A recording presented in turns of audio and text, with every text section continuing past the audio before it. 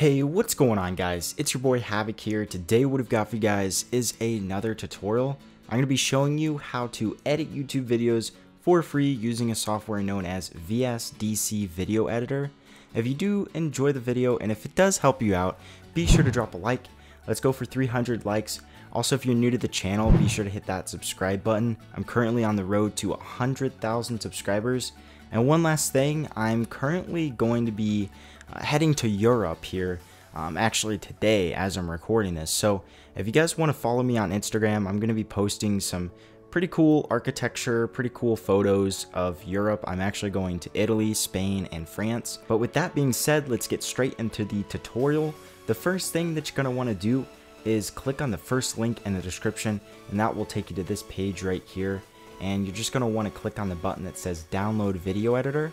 And I'm not going to do it because I already have it uh, downloaded but it's pretty simple to install it onto your computer. It should show up somewhere on your desktop so you're just going to want to click on it and open it up.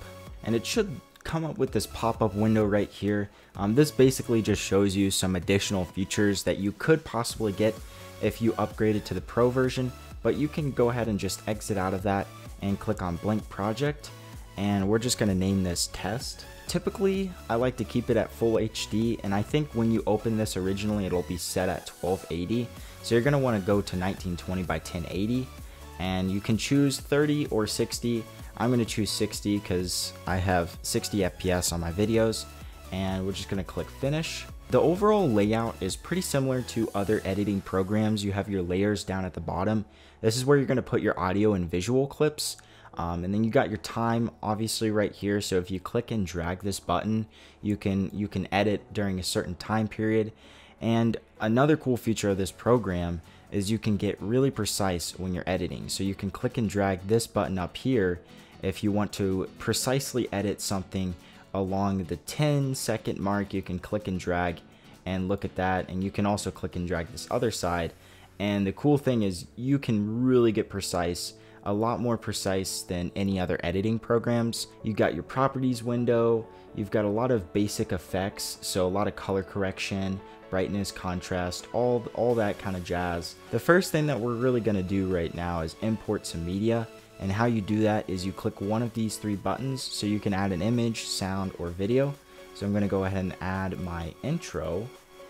And it'll come up with this window and basically I usually just click OK because from cursor position it'll basically place that imported media right after where your cursor is. And my cursor is at 0, 0 so I can just click OK. And there's my clip. If we click and drag here, you can see the intro right here. Also, another helpful tip is if you click on the clip right here, you can see these uh, kind of border lines right here and you can just click and drag. And the cool thing about this program is that it doesn't change the aspect ratio. So I'm gonna click Control Z to go back, but to be able to see that border, you actually have to click on the clip right here. So the next thing that we're gonna do is go ahead and import the meat and potatoes of our video.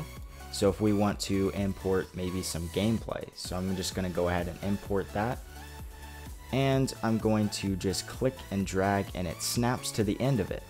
So the next thing that I'm to do is I'm to split this gameplay. Let's say that I only have two minutes of commentary, so obviously I'm going to only want two minutes of this gameplay and not all five minutes or so. So the thing that you're going to have to do is click and drag to wherever you want to split this clip.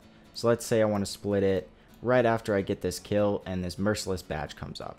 So I'm going to want to split it right here and have my outro afterwards, let's say. So what we're going to do is go to that time, click on this split into parts thing, and it's going to split into parts. Now one thing that's kind of tricky is you can't really delete this clip yet. You can't just delete it because it deletes the entire clip. What you have to do is click off of the clip and click back on and then you can delete that clip. So now you only have 2 minutes, 10 seconds, and you can get it more precise, obviously, if you want to get it more precise. If we want to get it right at 2, we can do that. And so if we just click the spacebar, or we can click this play button right here, but if we click the spacebar, you'll be able to see this transition when it transitions from the intro to the gameplay. And as you can see, it's not too professional. Basically what you're gonna do is make sure you have your gameplay, meat and potatoes selected, right click, go to video effects, and go to transitions and you have quite a few different options. I'm going to go ahead and just choose fade FX. So The difference between from scene begin to scene end, if I want it at the beginning, I'll click this. If I want it at the end, so a transition between the end of your gameplay and your outro, you're want to click this. So first off, we're to click that click OK. And it'll actually open up this new tab right here. And this will basically show you whatever effects you have on that certain clip. So whatever effects you have on your gameplay will be shown right here. If I click and drag this button right here, we can slowly and surely see this fade FX right here. So one thing that you can do, and we can just go ahead and play it and see how this fade FX looks, what we can do is we can click and drag this. So if we want a longer duration of fade, as you can see, if we want it to fade it real, real long, we can or if we want a quick fade, we can do that as well. Now there's a lot of things that we can change with this Fade FX um, more than just the duration of it. We can change the properties of it and this window right here. So we can go ahead and change the width and the height of this grid um, so that it kind of just blends in with the gameplay a little better and kind of makes it look a little more professional. Um, now I suggest having the width and the height as low as you can and the lowest that I can put it at is 8 but if I want to just mess around with this and see what 40 and 40 looks like, we can see that that does not look very good. So I'm just going to go back to 8 because that looks a whole lot better. Um, another thing that you can change is the type of grid that you want. So if you want to rotate a rotated grid, you can do that. If you want a diagonal line, you can do that. Dashes, it kind of changes the overall look. So you can kind of mess around with it, see what you really like. Um, but we're going to go ahead and click this button and kind of drag it back out. And we're going to go ahead and click on this tab again right here. And we're going to right click again, go to video effects, go to transitions, and do another fade FX to scene end so that we have a fade FX at the end and at the beginning. So if we go back to our scene right here, you'll be able to see that at the end, it'll have a nice little transition as well. So obviously I'm assuming that most of you guys want to know also how to edit overlays into your videos, aka face cam border or leave a like animation. Now I typically make these as an image, as a Photoshop image, and so I'm just going to go ahead and click on add image, and I'm going to go ahead and just add my leave a like animation first, click open, and I'm just going to click OK and there it is right there.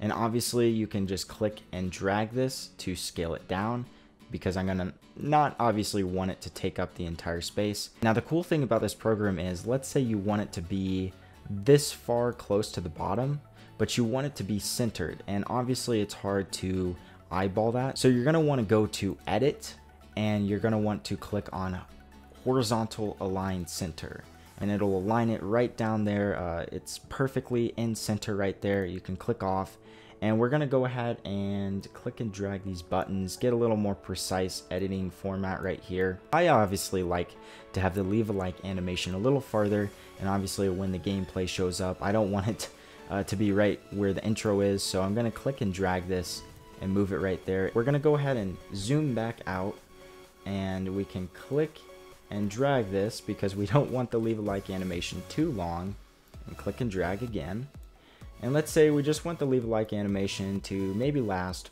four or five seconds and as you can see it just shows up for four or five seconds and goes back out there's no transition obviously so it doesn't look too professional so what we're to do to change that is right click go to video effects go to transitions now I for one really like the wipe effect for a certain overlay like a leave like animation. So I'm to do from scene begin and then I'm also to go back, right click again, video effects, transitions, wipe, and then from scene end.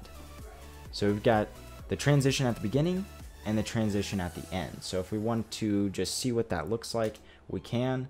And there it is. We've got a wipe and it goes back up. As you all know, you can click and change the properties of this if you want um, we can change the type to maybe a side wipe.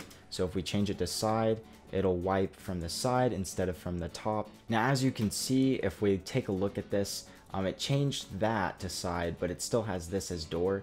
So you basically have to go back and change this one as well to side. And if we change that and we go back to this location right here, we can see that it's changed to side as well.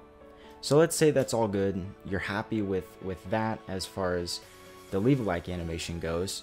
So we're to go back to this scene as well. The only thing that remains that I would like to show you guys is a face cam border. So I'm going to go to add image again and I'm going to go to face cam border. If you guys want a tutorial on how to make both of these, be sure to let me know down in the comments. Um, I can go ahead and do that. I think I've gotten a couple requests with the face cam border, but I haven't really gotten any requests for the leave a like, which is surprising. But if you know how to do one, you should be able to know how to do both of them. So I'm going to go ahead and just click OK. So the face cam border shows up. There it is right there. And you can click and scale it, obviously. And I'm going to go ahead and click Control Z to go back to the original size. But I'm just going to keep it right there. I think that's good. As you can see, if you have your gameplay above your face cam, this is another important thing, is whatever layers are above will be above. So your face cam is below this. So you're obviously going to want your face cam border to be at the highest layer that it can be. Um, we can just click and drag this if we don't have a new layer up here and so that the face cam border is above everything else. So now that we have the face cam border above the gameplay, I'm going to click and drag it and make sure it's the same length as my gameplay so it stretches out the entire gameplay. And the next thing we're going to do is just take a look at this transition by clicking the spacebar to play it. And as you can see, everything transitions except the face cam border. So what we're going to do is click on the face cam border, right click video effects, transitions, and we're going to do a fade FX as well. And you're going to want to basically match it along with it, whatever transition you, you pick for your gameplay so that it matches it and it looks all synced up. So from scene begin, so it'll transition at the beginning. So if we click and play, it transitions a little better. So we can click the spacebar again, go to scene zero again, right click video effects and go to transitions as well again do fade FX to scene end so that it transitions at the end as well before our outro. So we can click out of this tab right here and obviously you can change the properties if you want to, you can change the duration. And it's a lot of tedious work, but like I said before, the more precise that you can be, the better your video will look. So now that we have everything in here, I've shown you how to split clips, I've shown you how to add everything, how to scale it down. The next thing that I want to show you guys is how to crop an image. So if you have a face cam right here, you're going to want to crop it inside this border. So we're going to make sure we're clicked off everything. We're going to go ahead and add a video. And I'm going to go ahead and add my face cam. So I'm going to get a little more precise and as you can see this video is above everything else. So the how you're going to change that is we're going to right click add a layer and unfortunately with this program let's say that I drag this up to a new layer, it's going to delete whatever layer that doesn't have anything on it. It's just a kind of a, a self protocol that just deletes layers that aren't being used, if that makes sense. So let's say if I move this up, it'll delete that layer. So I'm to have to do that again. And I'm to go ahead and click on the face cam border, drag that all the way up so that it's above everything else. And now everything is organized pretty good now according to layers. So we're to make sure we have our subs, our face cam uh, content right here clicked on. And we're going to click and drag and go ahead and scale that down. And obviously, as you can see, it's not precise right here. So how we're going to crop this is we're going to go to editor. We're going to click on this crop tool right here and it'll show up this window right here. Now the unfortunate thing is that you can't really see a preview of this unfortunately, but you can basically eyeball it. So if you click and drag this, you can basically see, okay, well the border is pretty close to where this rug is. It's about halfway, right? So we're going to try to just put that right there. And obviously you can't really see the entire clip, so you have to drag this. And we're going to do the same thing on this side as well. And that's about where the border is. And you can click and drag this as well up to, oh, I would say it looks like it's about up there and we can click OK. And obviously, um, you'll have to mess around with it a little more. Make sure you have your face cam footage selected right here, and we can basically scale it down again And sometimes that's all it really needs is a little scaling and it looks pretty good about there. I mean, it looks like it's inside the border if we click off of it. It looks like it's inside there and it plays pretty well and you're obviously going to want to click and drag it to where it matches everything and if we go to the original transition right here we can see that everything else transitions except the face cam footage. So we can just go ahead and change that by right clicking video effects transitions and go to fade FX again from scene begin. And we can go back to scene zero right click again and do a transition at the end as well. So from scene end. And there we go. So we got our, basically our transitions, we got our face cam footage, we've got everything here. And obviously, as you can see, my face cam footage is pretty long, so I'm gonna want to make that a little shorter so it matches everything. So there we are, right there. It's pretty much finished. Now, one last thing that I do want to show you guys is color correction. Now, this program has a lot of cool features regarding color correction. If you go to editor, and if you click on this down button right here you can see a lot of different um, color correction options that you can choose so if we want to click and drag this to see what the gameplay originally looks like and we want to change this make sure you've got your gameplay selected we can go ahead and click on some of these and it'll change what it looks like and as you can see, it changes it to black and white. Now, one important thing is you should not try to add multiple color correction um, films on here. So if you end up not liking this black and white uh, color correction, you can just click Control Z and it'll go back to the original format right here.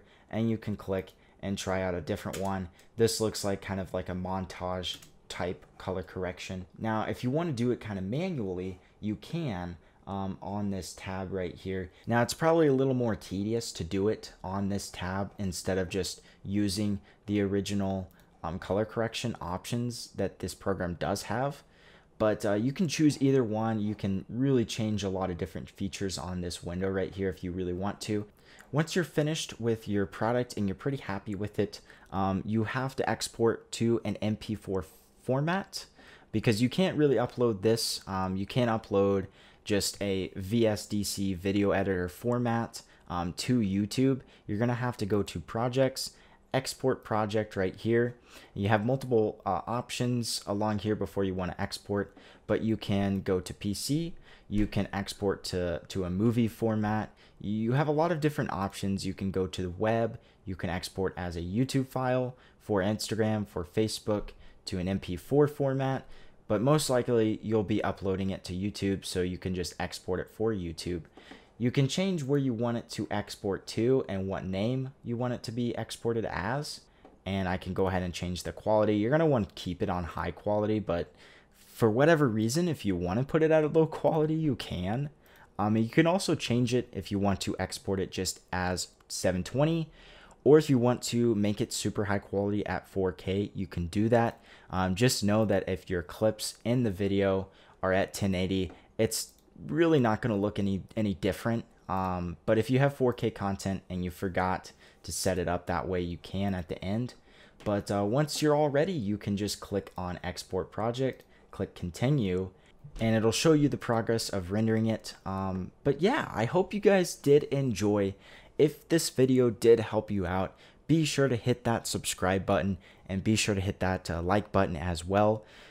Make sure you got your notifications on. I'm going to be posting a lot more tutorials. Let me know down in the comments what you would like to see. I'm going to try to make a face cam border video as well as a logo and maybe an updated intro tutorial as well. And with that being said, it's been your boy Havoc here and I'm out.